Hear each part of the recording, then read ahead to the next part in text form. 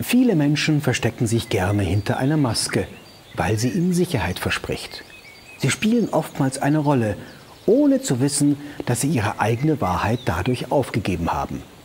Welchen Teil von deiner Maske könntest du heute aufgeben?